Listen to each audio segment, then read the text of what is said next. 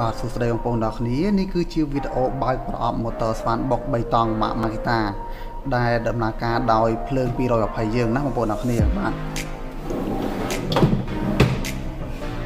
ចំពោះមួយប្រអប់នេះតែម្ដងគឺមានលេខកូដ HR 3012 FCJ បាទចំពោះលេខកូដ HR 3012 FC បាទគឺជាលេខកូដរបស់ម៉ូទ័រ J នៅខាងចុងគឺបានន័យថាភ្ជាប់មកជាមួយនឹងប្រអប់ backpack មួយនេះបាទ ដែលបងប្អូនអរគ្នាទៅបំពេញការងារគឺមានប្រអប់នេះភ្ជាប់ជាមួយនឹង motor បាទអាចដាក់ផ្លែបាទទៅជាមួយបានទៀតណាល្អមែនតើបាទ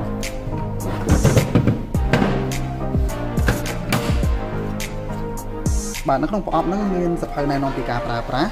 ឈ្មោះជាភាសាអង់គ្លេសរបស់ motor ផ្ទាល់គឺ combination hammer បាទ HR 3011 FC HR 3012 FC HR 3001 C បាទ3 model នេះគឺស្រដៀងគ្នាបាទខុសគ្នាតែបន្តិចបន្តួចណាគឺខុសគ្នាតែបន្តិចបន្តួចទេតែនៅក្នុងវីដេអូនេះគឺខ្ញុំកំពុងតែបើកប្រអប់ HR 3012 XC បាទអូខេបាទហើយបានភ្ជាប់មកជាមួយនឹងដងតឬក៏ក្បាលតបាទដោយសារ motor នេះ គឺយើងអាចដោះដូរក្បាលបាទសម្រាប់ធ្វើការស្វានដៃស្វានឈើបានទៀតបាទមិនត្រឹមតែស្វានបេតុងស្វានចាំងអត់ទេគឺអាចស្វានដៃស្វានឈើទៀតដោយគ្រាន់តែដូរក្បាលមួយនេះហើយក្បាលមួយនេះគឺងាយស្រួលមែនទែនសម្រាប់ការប្រើប្រាស់ជាមួយនឹងម៉ូទ័រនេះនៅពេលដែលយើងដូរក្បាលគឺបាទមិនពិបាកទេគឺងាយស្រួលណាស់បងប្អូនអរគ្នាបាទហើយលេខកូដបាទរបស់ក្បាលតហ្នឹងគឺ19អធិស្ឋាន191 F41 ដក4បាទហ្នឹងគឺជាលេខ បាទលេខកូដរបស់បាតហ្នឹងបាទហើយអាចចាប់ផ្លែបាទចាប់ផ្លែពីទំហំ1.5ទៅដល់13មីលីម៉ែត្រណាចាប់គូផ្លែបាទបាទនេះគឺមកចំណងបាទនេះគឺសាមញ្ញណាគឺវាជាចង្កឹះសម្រាប់វាស់ជម្រៅនៅពេលដែលយើងធ្វើការស្មាន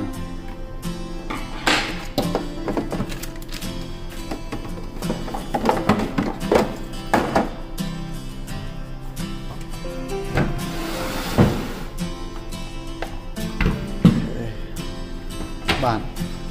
អឺយើងសង្កេតដំបូងយើងសង្កេតដំបូងបំផុតគឺឃើញបាទអក្សរធំជាងគេបាទគឺ AVT បាទ AVT ពាក្យពេញរបស់វាគឺ Anti Vibration Technology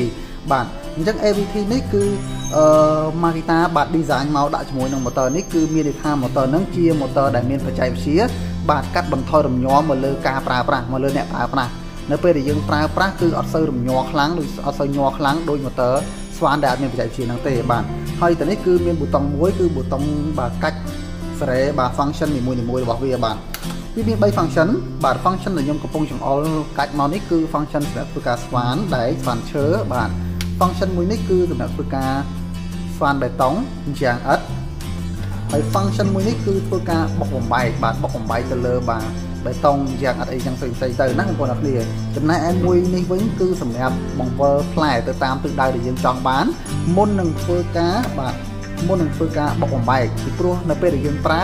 បាទពេលខ្លះយើងប្រើផ្លែជាប្រភេទផ្លែមុខសំប៉ែតអញ្ចឹងយើងត្រូវការសារ៉េ function បាទសារ៉េ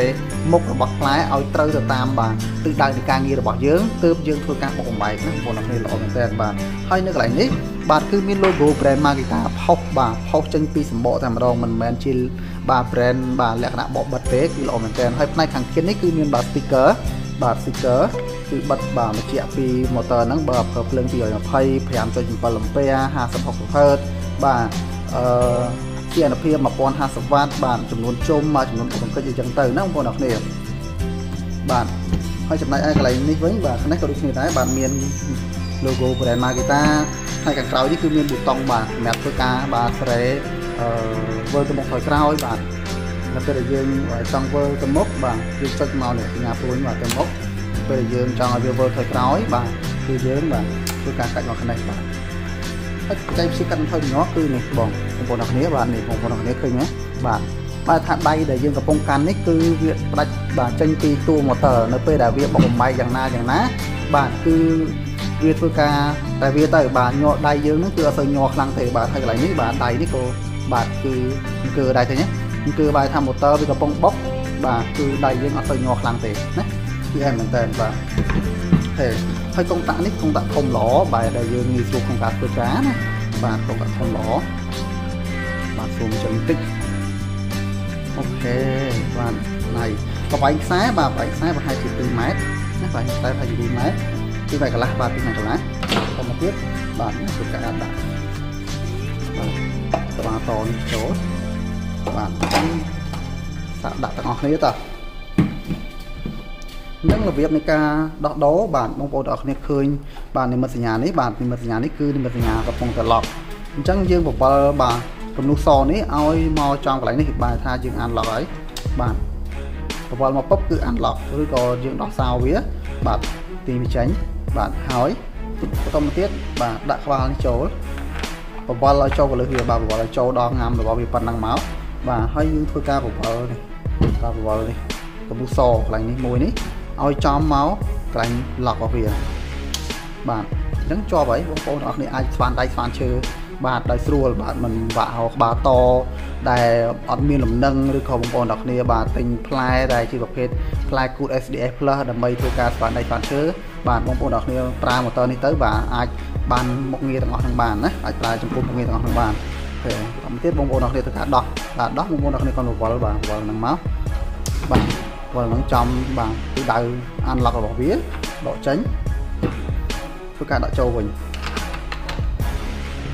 OK បាទអែមណាបងប្អូនអរគ្នាអញ្ចឹងបន្ទាប់ពីនោះមកយើងមើល spec ទាំងអស់គ្នាបន្តិចបាទមើល spec របស់ motor ហ្នឹងបាទឲ្យស៊ីជម្រៅបាទ បន្ទាប់ពីយើងបើកប្រអប់បន្ទាប់ពីយើងមើលសម្បករបស់វារូបរាងរបស់វាហើយយើងចាប់ដើមធ្វើការមើល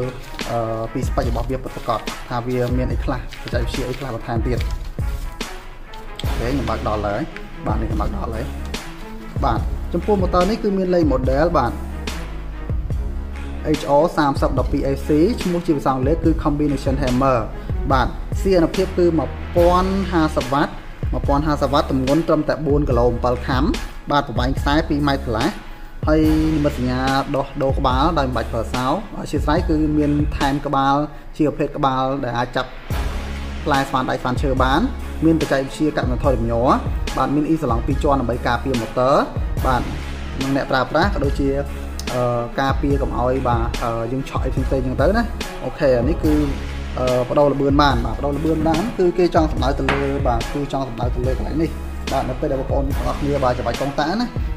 ច្បាច់កងតាគឺបាទចុចតិចគឺវិលតិចចុចខ្លាំងវិលខ្លាំងហ្នឹងហើយគឺសម្ដៅកន្លែងហ្នឹងបាទហើយនេះគឺបាទមានកងតាវិលទៅមុខទៅក្រោយដែលខ្ញុំប្រាប់បងប្អូនទាំងអស់គ្នានេះនៅផ្នែកខាងក្រោមបាទនេះ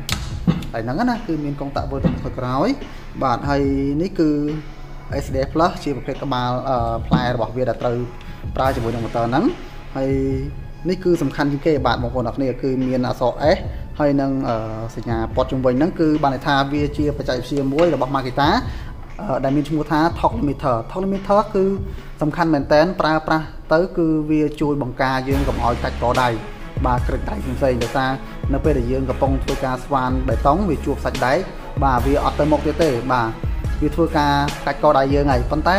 motor មួយនេះគឺមានបច្ចេកវិទ្យាផ្ដាច់បាទនៅពេលដែលវាធ្វើការ កាច់កដៃយើងគឺវាមានបច្ចេកវិទ្យាហ្នឹងដើម្បីផ្ដាច់ motor មិនឲ្យដំណើរការអញ្ចឹងវាអត់កាច់កដៃយើងរហូតដល់ខាច់ដៃទេបាទឲ្យយើងចាប់ motor ឲ្យជាប់បាទនៅពេលដែលវាមានបច្ចេកវិទ្យានឹងលោតពឹបគឺវាធ្វើការផ្ដាច់ដល់អូតូណាបាទបន្តទៀតមានអំពូល LED អំពូល LED តាណាចេះបង្ហាញបងប្អូនអរគ្នាបាទនេះអូខេបាទនៅខាងក្រោមមានអំពូល LED 2គ្រាប់ណាមានពណ៌ LED 2គ្រាប់សម្រាប់បំភ្លឺបាទនៅពេលយើងធ្វើការស្វាងបាទគឺល្អមែនតើនេះបាទតែណា ហើយម៉ូទ័រនេះអាចភ្ជាប់ទៅជាមួយនឹងបាទអឺ accessory បាទធ្វើការបូមទូលេនៅពេលដែលយើងស្វានទៅគឺវាអត់ហុយណានេះកន្លែងនេះបាទភ្ជាប់ទៅមានបាទមានម៉ូទ័រភ្ជាប់បាទនេះបងប្អូនអរគ្នាគឺ accessory សម្រាប់ភ្ជាប់វាបាទភ្ជាប់ទៅគឺវាបូមចូលក្នុងហ្នឹងហ្មងបាទកតិចបេតុងកតិចអិតអីហ្នឹងគឺវាបូមចូលក្នុងហ្នឹងនៅពេលយើងស្វានហើយបាទហើយកន្លែងហ្នឹងគឺមានគោះទៀតណាបងប្អូនអរគ្នាយើងអាចគោះកតិចនឹងបានទៀតអែមអែមមែនតើបាទអូ ខេមានពួក LED ចប់ហើយគឺអស់ហើយបាទអញ្ចឹងគឺមានតែប៉ុណ្្នឹងទេសម្រាប់ការបើកប្រអប់បាទអញ្ចឹងគោលបំណងនៃខ្ញុំធ្វើការបើកប្រអប់នេះគឺចង់ឲ្យបងប្អូនទាំងអស់គ្នាឃើញពីរូបរាងពិតបាទរបស់ motor ដែលមានលេខកូដមួយហ្នឹងបាទនៅក្នុងប្រអប់មួយហ្នឹងនៅពេលដែលបងប្អូនទាំងអស់គ្នាទិញទៅប្រើប្រាស់គឺត្រូវជាមួយនឹងការងារតែម្ដងគឺបាទមិនហៅយើងនិយាយបានថាមិនទិញខុសណា បាទមិនទិញខុសគឺបានន័យថាយើងទិញទៅត្រូវមួយការងារយើងមិនបាក់យកមកដោះដូរឬក៏ទិញថ្មីថែមបាទគឺចំណាយលុយថែមទៀតឬក៏ចំណាយពេលវេលាអញ្ចឹងទៅបាទអញ្ចឹងវីដេអូខ្ញុំមានតែប៉ុណ្្នឹងទេបាទសូមអរគុណបងប្អូនអរគ្នាច្រើនដែលតាមដានទស្សនាវីដេអូពីដើមដល់ចប់ដល់ចប់ហើយបងប្អូនអរគ្នាក៏អាចលើកទឹកចិត្តខ្ញុំឲ្យធ្វើវីដេអូបន្តទៀតតាមរយៈចុចប៊ូតុង like subscribe share ក៏ដូចជា comment ពាក្យល្អៗណាបងប្អូនអរគ្នាបាទបាយបាយ